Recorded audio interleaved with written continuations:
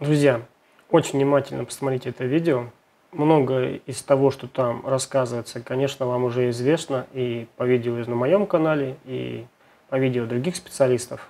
Но есть очень, очень что-то важное, что вам необходимо понять.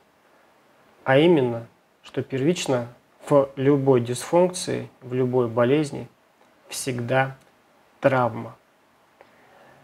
И если то, что вы здесь увидите или услышите, вам будет непонятным, или вы хотите продолжить и познать то, что уже узнали, расписание на 2022 год есть на моем сайте emnica.kz.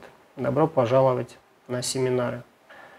Есть ограничения в набор группы, поэтому советую поторопиться, потому что цены в 2023 году, соответственно, очень сильно изменятся.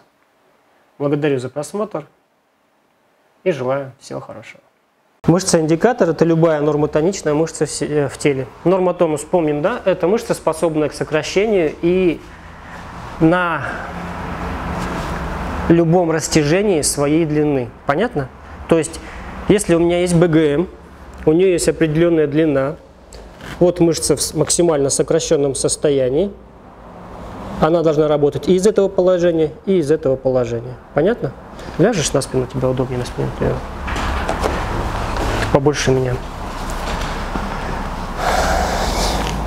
Дай на меня. Мышца сильная. Стоп, еще разок дави. Дави, дави, дави, дави. Ага. Дави на меня. Дави на меня. Эта мышца сильная и работает на всей своей длине. Многие мышцы вы так не сможете протестировать, но многие сможете. Понятно? Ну, мы сейчас разбираем такой идеальный вариант э, мышцы индикатора. Что еще должна уметь такая мышца?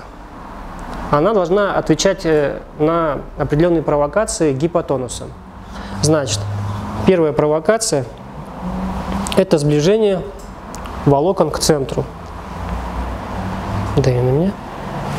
Хорошая мышца. Отлично. Она должна расслабляться на растяжение сухожильных концов. Дай меня. Это свидетельствует о чем? О перегрузке, да? Через сухожильный аппарат Гольджи. Расположение брюшка мышцы северного полюса магнита создает реполяризацию мембраны кратковременно, да? И мышца тоже слабнет.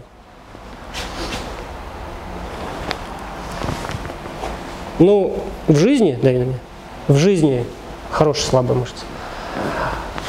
У вас такого, как это сказать,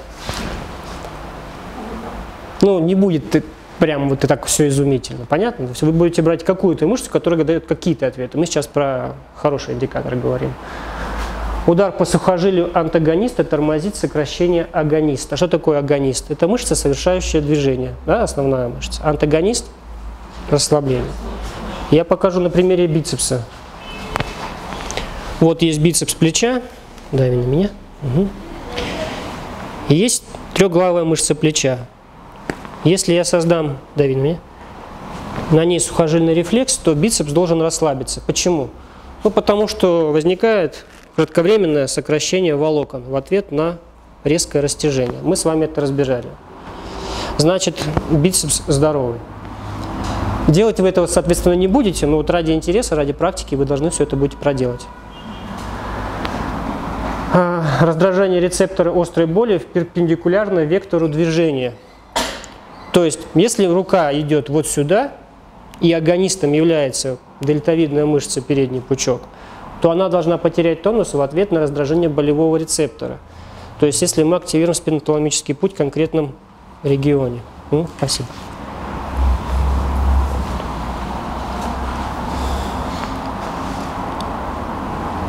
Дай на меня. Все, мышца расслабилась. Прям себе это тренировал, что ли? Прям хорошо чувствуется. Прям идеально. Вот вроде большой человек, ну прям идеально работает. А, все, разобрали.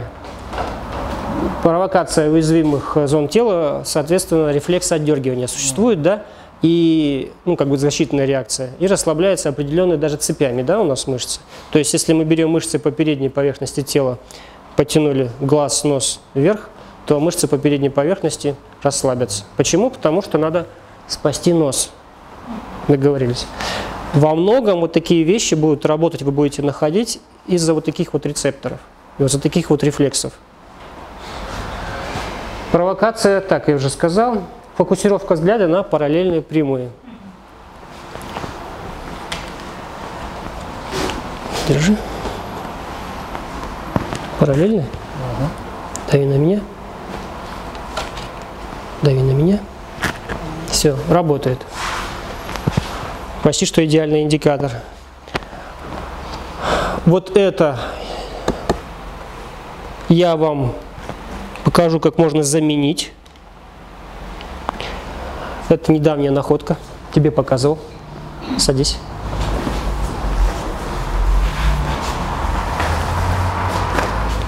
Если вы тестируете мышцы, да, которые располагаются билатерально, то есть с той и с другой стороны, вы можете через противоположную мышцу узнать, как работает мозг. Функция примерно такая же. Понятно? Предположим, я хочу протестировать на предмет координации полушарий вот эту мышцу. Я делаю вот эту провокацию на другой стороне. Интересно. Да. Мышца расслабляется. Это нормально. Это значит, что голова соображает правильно. Сигнал поступает как сюда, так и сюда одновременно. Но потому что но уже в перекрестном отношении. Потому что экстрапирамидный путь у нас идет как бы вверх, сюда и часть сюда идет. Здесь мозг и здесь мозг. Здесь мышцу потеребили, здесь мышца расслабилась. Это значит, что вот этот путь работает хорошо. И оба полушария через эту мышцу вам дают ответы. Если этого не происходит, значит вам дают ответы не оба полушария. То есть анализ ситуации, происходящей в теле, производится только, ну, соответственно, одним, да, То в большей степени. Тонус, да, что здесь провоцировали. Да, это норма. Так. так, все, вспомнили критерий нормы тоничности, об этом я в прошлый раз вам не говорил. Говорю сейчас, запишите себе на подкорку. Пока на подкорку. Да. Спасибо, Сергей, большое. Мышца-индикатор не имеет прямой связи с дисфункцией, но отражает состояние дисфункции понижением или повышением тонуса при изменении сигналов ЦНС. То есть изменение равновесия в теле вызывает, соответственно, изменение в мышце-индикаторе. Ассоциативная мышца отражает состояние определенного сегмента тела напрямую. Например, висцеромоторные паттерны. Плохо желудку, гипотонус БГМ, ключичные порции. Это мы с вами разбирали. То есть в каждой мышце есть ассоциативная висцеромоторная связь. Предположим, через эту мышцу я не найду дисфункцию у Сергея на желудке. Понятно, да? То есть она ну, либо скомпенсирована, либо действительно желудок здоров. Если было бы плохо, она была бы исходно слабая. Вот ассоциативные мышцы, как правило, при дисфункциях исходно слабые. Мышца-индикатор становится ассоциативной мышцей, если та дисфункция, которую вы провоцируете, связана с ней напрямую. То есть, если у вас есть, ну, предположим, бицепс плеча, вы его тестируете, все хорошо, пока вы не дернули или не надавили капсулу локтевого сустава. Как только вы это сделали, он расслабился. Значит, здесь есть проблема. И здесь напрямую идет определенная связь. Понятно? Бицепс плеча сильный. Вы наклонили шею, он стал слабый. Значит, он уже не индикатор, он уже ассоциативная мышца. То есть он отражает проблему шеи вот напрямую сразу. Что-то здесь между ними не так. То есть вот эти отношения прослеживаются. Целом, как мы увидим, большинство индикаторных мышц так или иначе ну, могут быстро стать ассоциативными к чему-либо. Но есть стойкие связи ассоциативные, это связи с внутренними органами, поэтому мы с вами их записываем. Да? Болит желудок, не работает мышца, заблокирован сегмент, не работает такая-то мышца, э, там заблокирован какой-то шов, не, не работает такая-то мышца и так далее, и так далее. Терапевтическая локализация, расположение рук пациента на теле пациента. Провокация – это все, что не терапевтическая локализация. Вот тронул врач – провокация, прижался врач – провокация, моргнула девушка – провокация, подумал про а, Мальдивы – провокация, понюхал травки – провокация, постучал ногой – провокация. Все? Больше этот вопрос мы не поднимаем. Песочное постукивание – это вопрос приоритетности действий. Это из э, прикладной кинезиологии классической по Васильевой, Шеферу и так далее. На данный момент Хосе Паламар э, выдвинул, ну, наверное, это уже не предположение, это уже утверждение, что это раздражение вторичных Гольджи по височно-сфеноидальной линии. То есть там есть сухожильно-связочные цепи, ну не цепи, сухожилия, связки, да, которые вплетаются в этот шов.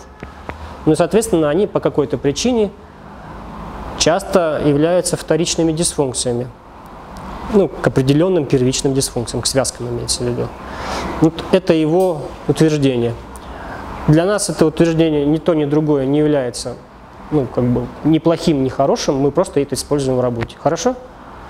Компьютер – это сохранение введенного сигнала в нервную систему для дальнейшей диагностики и так далее. Кто знает, кто видел когда-нибудь компьютер, как работает? Что так не смело? Да, это когда э, сигнал патологический вводится э, в тело, и одновременно с ним напрягается определенное сухожилие и остается, остается в этой же позиции. Либо сторонний какой-то стимул, который зависает в нервной системе одновременно с патологическим стимулом. Предположим, вот хорошая ручка. Единственный, который пришел с правильной ручкой. а, нет, у вас двое. Я, допустим, хочу посмотреть колено, здесь есть дисфункция. Я пораздражал дисфункцию с одновременным раздражением, то есть слуховым и визуальным. И ручка осталась в этом положении. То есть стимул щелк вместе со стимулом подавить или помассировать завис в системе. И индикаторная мышца мне будет это показывать. Мне нужен какой-нибудь пример. Пойдем? Садись. Я беру любую индикаторную мышцу, давим вверх, давим вверх, угу. давим вверх, ну, перекрестное отношение не очень хорошо работает, но не суть.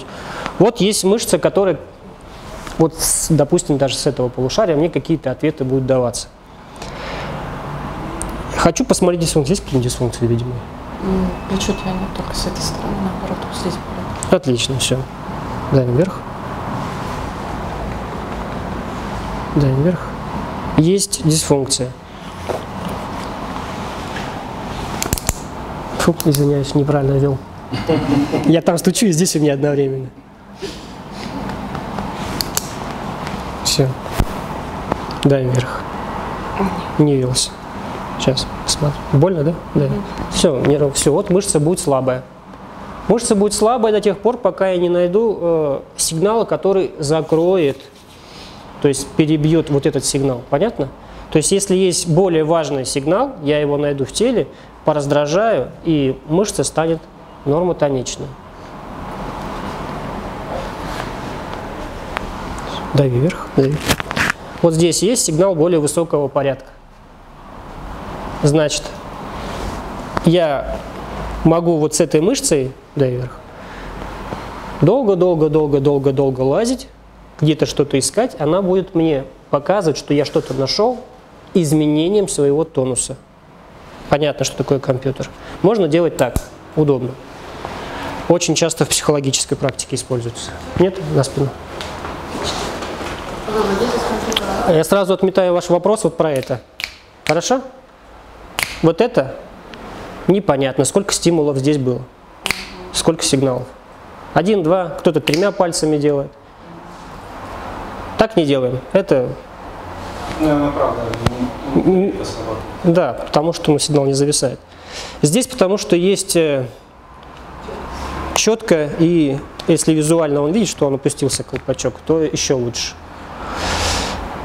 Можно работать через проприорецепцию суставов. То есть вы раздвигаете ноги при активации дисфункции, и, соответственно, дисфункция вместе с сигналом сухожилия зависает в системе. Все, вот подвинули ножку.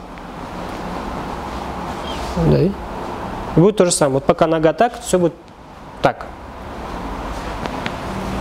Убрали сигнал сухожилия. Все. Все, сигнала нет, мышца восстановилась. Это называется, в прикладной кинезиологии называется компьютером. Не советую вам использовать э, какие-то другие, типа такого, такого, такого. Нужен четкий, понятный инструмент, чтобы вы его, во-первых, не забывали. Понятно? Если хотите на ручку повесить 5 компьютеров, не советую. Я лучше советую вам иметь 5 ручек. Допустим, постучали, ввели, нашли, ввели. Можно так работать. Но так будет просто как минимум удобнее. Понятно? Все, спасибо. Запомнили, компьютер – это инструмент для того, чтобы зациклить патологический сигнал в системе. Ну, не только патологический, да, там можно работать и с нормальными сигналами, но мы сейчас говорим про больных людей. Через какое время это бросить? Как только ты ногу, Нет, как только ты щелкнешь, Еще раз щелкнуть. да, ну или как только она выйдет. Как только сигнал не перестанет быть актуальным. Ну, система все равно его скомпенсирует, она же пони- понимает, она же не глупая. Провокации для диагностики аспектов здоровья. У нас есть определенные системы, которые отвечают за определенные функции, и для них есть провокации. То есть мы можем понять, куда в своем лечении нам идти. То есть мы будем растирать кость, мы будем перезагружать рецепторы, мы будем навязывать новый психотип или разгружать эмоции. То есть есть определенные вот эти механизмы. У нас первый это структурный аспект, это все, что связано с телом. Помассировать, помять, постучать, поддержать и так далее. То есть это все, что материальное. Нервная система, кстати, это тоже материальная, поэтому там надо будет уметь различать кое-что, ну пока вот так. Перкуторное раздражение надкостницы работает, давайте я буду проще вам да, давать. Это работает как паутина.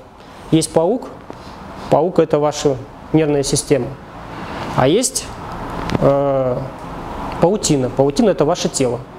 Вот как только вы здесь ударили, в нервной системе сигнал какой-то прошел. И она изменением тонуса показывает, что есть нарушение, но нарушение конкретно структурное. Вот как только паутина завибрировала, нервная система смогла отследить патологические сигналы. И, соответственно, она их и вам показала. Надкостница раздражается в дистальных отделах, в самых нагруженных. Это вот здесь. И голеностоп. На самом деле раздражать можно где угодно, в зависимости от того, где вы ищете дисфункцию. Если вы ищете дисфункцию в теле, то вот эти места. Если вы ищете дисфункцию в черепе, то можно через череп найти. Психика. Терапевтическая локализация лобных бугров. Это вот здесь. Понятно, да? Эти лобные бугры являются нейроваскулярными точками для некоторых органов. Поэтому там необходима будет дифференцировка. Но не суть. Неврология – это дисфункция нервной системы. То есть какие-то нарушения в вегетативной нервной системе. Система, которую мы не осознаем. Либо терапевтическая локализация, либо надавливание глазных яблок. Дают нам понимание о том, что что-то не так с нервной системой. То есть не в коре, не в лимбической системе, а в системе продолговатого мозга, мозжечка, таламуса. Биохимия.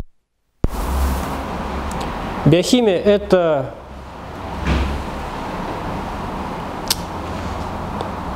химический состав нашего тела.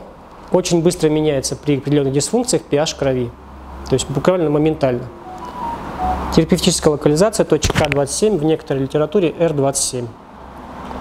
В основном отражает состояние лимфатической системы. Почему? Потому что вот здесь впадение лимфатической системы в венозное русло, в подключичную вену. Ну и, в общем-то, взаимоотношения лимфы и крови можно здесь проследить.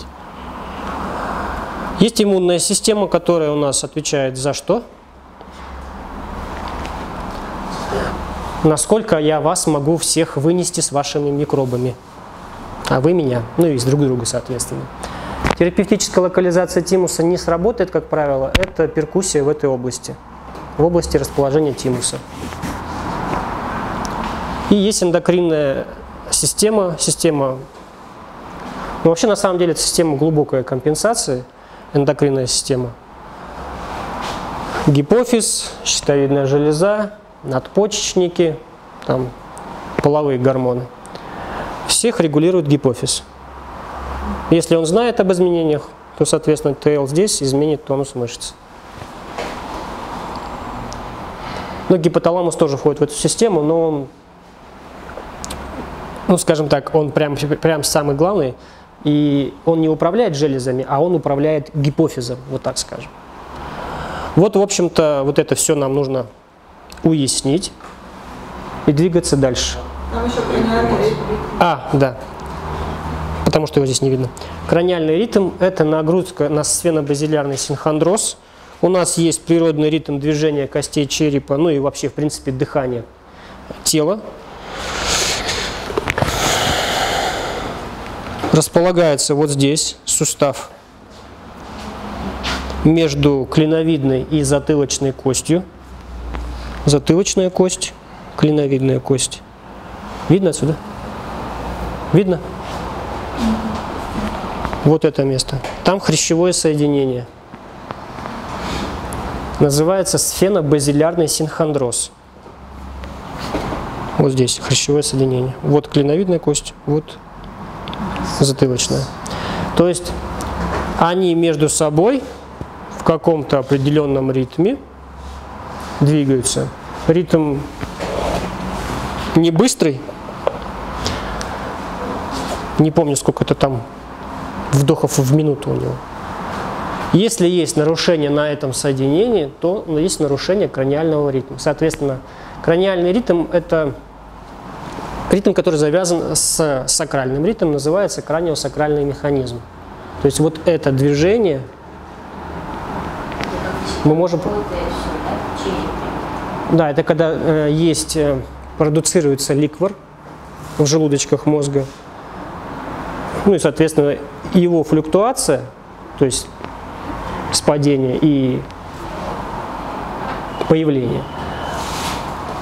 Вот через этот механизм э, работает этот дренаж. Так. Еще пропустили эмоции, ты у нас. Эмоции, да, точно, извини. Эмоции пропустил, да. Почему я так? Эмоции, как я уже сказал, это не психика, это окрашивание сигнала. Это, психика – это модели построения ответа на сигнал, который уже окрашен. Тейл носа. Есть еще точка, располагающаяся на 4 пальца, ваших пальцев. Не моих пальцев на вас, а ваших пальцев на вас. От э, мечевидного отростка вверх и один в сторону. Вот здесь эта точка покажет, есть дисфункция лимбической системы или нет. То есть тейл можно ставить сюда. Мечевидный отросток, вот у вас ребра сошлись, вот мечевидный отросток. Четыре пальца отложили и один палец в сторону.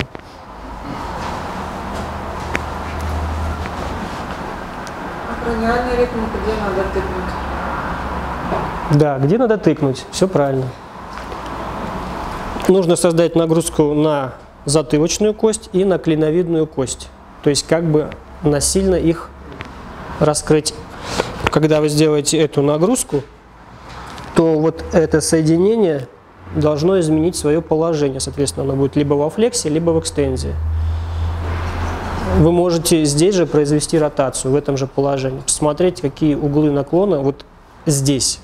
Здесь очень э, чувствительное рецепторное поле. То есть любое изменение в теле отражается на клиновидной кости и на гипофизе, вот здесь, в ямке гипофиза. По сути, вот то, что мы все асимметричны, вот э, он все знает. Но почему-то не меняет. Ну, почему это мы разберем чуть позже. Всем непонятно. Почему тело такое умное, но ничего не делает для того, чтобы мы были здоровы, да?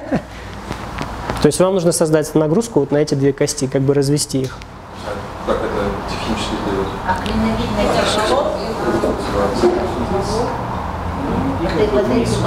Да?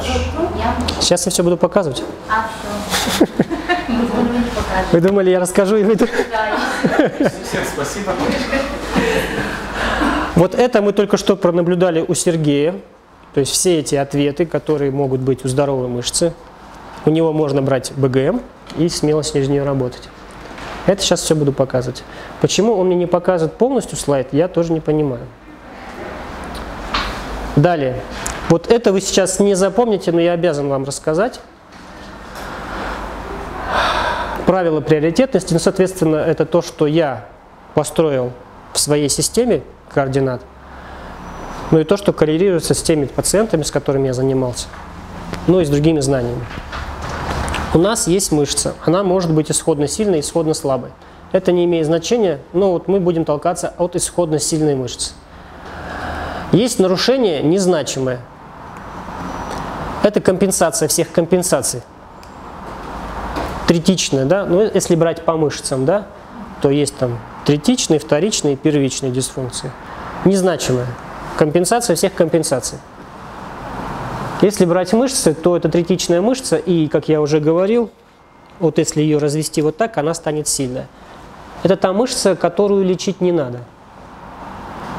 Ну, как бы надо, но с точки зрения логического подхода конкретно ее лечить не нужно. Или дисфункцию, которая вот это, не надо ее лечить. Мышца теряет тонус при терапевтической локализации дисфункции. Есть нарушение. То есть мы еще не знаем, какое оно. Оно может быть вот такое. То есть оно теряет тонус на терапевтическую локализацию. Вторичное незначимое. Эта мышца восстановила тонус при двойном ТЛ. У кого БГ... О... Наташ, пойдем, у тебя не работала, да, мышца? А, нет, нет, извини, у тебя, Сергей, не работал.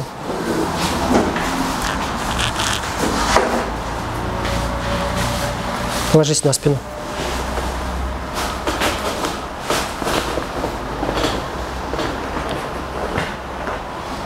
Вот так назад.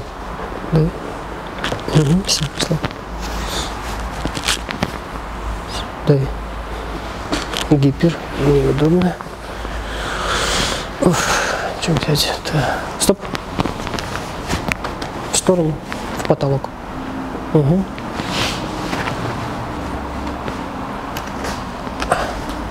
Смотри. Да.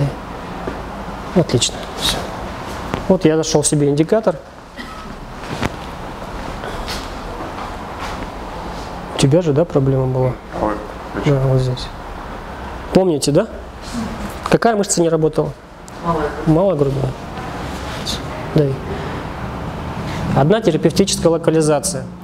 Есть дисфункция. Просто она есть. Вот как факт. Не придавливай, просто положи. Не надо поднять, я сам. Дави. Еще разок. Дави. Угу. И мышца восстановилась. Это значит что? Как минимум вторичная. Все правильно. Мышц, вот эта проблема вторичная. На 2 ТЛ мышца снова включилась. А, мягко говоря, что я говорю мозгу, посмотри, что здесь. Тестирую. Вот с одного сенсорного пути пошел вход в мозг. Понятно, да? Оно обрабатывает. Я вижу вот это. Я второму, второму полушарию говорю, а ты чего там тоже смотри, что увидишь. То есть скоординируйте данные. Он говорит, ну, как бы ничего такого, что нужно делать. Вот о чем это речь. Вот два сенсорных входа. Вторичное. Первичное значимое. Мышца сохранила гипотонус при двойном ТЛ. То есть если бы здесь при двойном ТЛ был гипотонус индикатора, то мы бы знали, что это первичное, первичное значимое звено. Как нам поискать первичное значимое звено?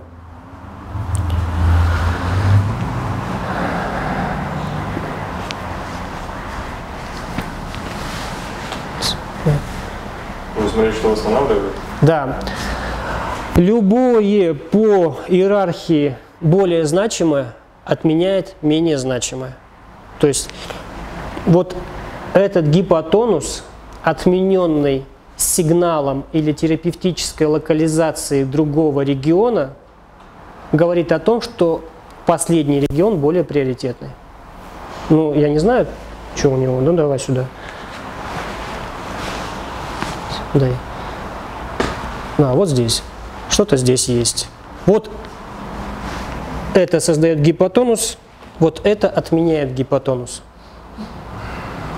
Значит, здесь тоже есть Нарушение. нарушение. Да. Вот одна ТЛ. Нарушение есть. Два ТЛ. Да. Нарушение есть. Первично. Не восстановила тонус. Значит, есть. Вот они два ТЛ. Значимое, первичное. То есть практически вот это лечит прикладной кинезиологии по Васильевой. Понятно. Почему? Потому что они делают вот так, и вы раньше делали вот так. Мышца восстанавливала или не восстанавливала? Вос- Восстановила тонус, значит не приоритет. Дальше они ставят сюда гипотонус. Дави. Гипотонус. Все. Вот этот инструмент уходит только вот на эту глубину. Есть суперприоритет. Мышца вернулась в исходное положение, в исходный тонус. 2 ТЛ плюс дополнительный стимул. Вот у вас 2 ТЛ. Да. Мышца гипотонична. Да. Мышца гипотонична. Значит, это даже не, ну, не эта глубина, да, то есть это вот здесь. Значит, есть что-то где-то, которое привело вот к этому. Сигнал на то место отменит эти два ТЛ.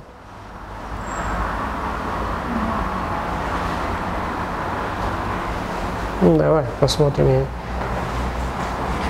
Я не знаю конкретно где. Ну, здесь придется побегать немножко.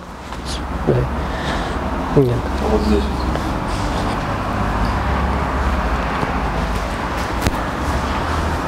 Да. Все. Сигнал вон там отменяет эти два ТЛ. Супер приоритет. 2 ТЛ. Да не знаю, в чем проблема еще. Я же показываю, как искать. Я не знаю, я его первый раз вижу. Ну, второй. Дай. 2 ТЛ гипотонус. Дополнительный стимул. Дай. Возврат тонуса. Это супер приоритет, но не исходник. То есть исходник вообще не реагирует на ТЛ. Если я на него поставлю две, на такую проблему две руки, одну руку, что угодно я с ним сделаю, никакого ответа с мышцы не будет. Да, теперь есть объяснение, да? И грубых примерах буду произво- э, говорить. Изнасиловали в детстве, но она этого не помнит во взрослой жизни. Но ей почему-то с мужчинами плохо. Она идет к психологу или гипнологу разбираться и вспоминает об этом. О чем это говорит? О том, что эта травма очень сильная. Это шок болевой, от него можно умереть. И вот такие травмы тело рубит. То есть просто отключает провод. Да. И поэтому сигнал с нее просто не идет. А как только мы этот сигнал добавим, то она его включит и выключит. Все, он меня блокирует. Я, может, пить хочу? Нет, ну ты иди попей, если хочешь пить. Он не дает мне ее найти. Не, не, стоп, я так не... Это это это не сам же человек. Нет. Это. Да.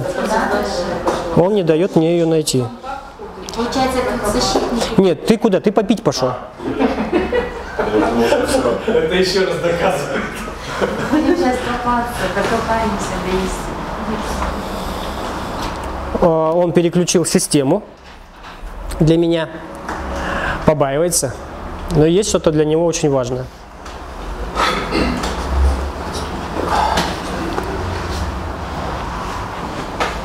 Для тебя важно найти проблему? Да. Ага, отлично. После этих объяснений стало еще как-то более стрёмно. Как будто бы. До этого я даже этого не осознавал. Но если хочешь, проговори вслух. Я хочу решить эту проблему, Я хочу решить эту проблему, и я принимаю это решение осознанно. и я принимаю это решение осознанно. Здесь и сейчас. Здесь и сейчас. Даже с помощью Егора. Да. Даже с помощью чего? Егора. Даже с помощью Егора. Вдох-выдох. Да. Все, выключил. На всякий случай перепроверим. М,